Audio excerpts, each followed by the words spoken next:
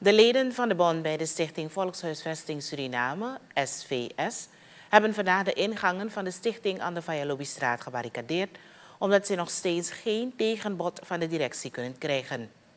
De bondsleden zijn al langer dan twee weken in actie en hadden tot nu toe als actiemodel aan het werk te verschijnen, maar niet te werken. Vakbondsleider Michael Salons geeft aan dat ze vandaag een tegenbod van de directie willen alvorens ze ingangen vrij te geven. Ja? Ik rij van elders, andere onderhandelingen, kom ik naar hier om half één, want om één uur hebben we afspraak. Zoals u hebt gezien op het appje. Ja?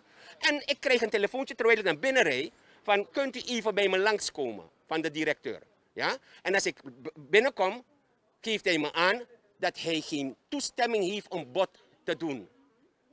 Dus, dus nou, nou, dus nekkie betu baka. Ja? En dus we hebben een keertje al de acties opgeschort. Omdat er ook beloftes zijn gedaan door de minister dat we aan tafel komen zitten en dat, we een bod zullen krijgen. We zijn nu al twee weken verder en tot nu, nu toe kan er geen bod komen.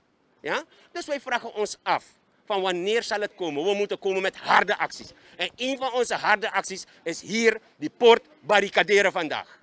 En als jullie vandaag geen uh, aanbod krijgen, wat zal de volgende stap zijn? We blijven hier totdat wij uh, aan, niemand bod krijgen.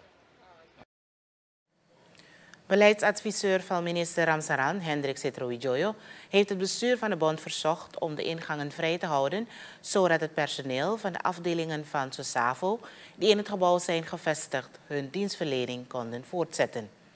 Dit leverde echter geen resultaat op. Jullie hebben al gehoord wat het verzoek is? Nee, we gaan niet mee met het verzoek. Hey, Fori, no tak godoro, no tak godoro, no tak godoro. Ale opo. Waktu itu silangat ba. Waktu itu silangat ba. So lang ama no tak angem mo fo. Asane opo.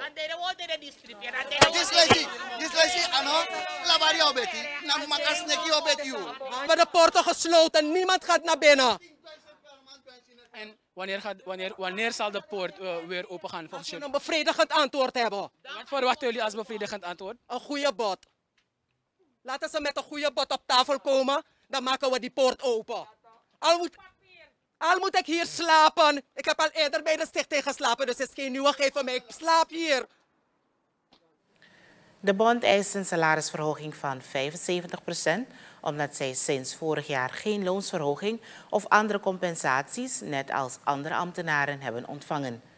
De leiding van de Stichting Volkshuisvesting was niet bereid om een reactie te geven op de verscherpte acties.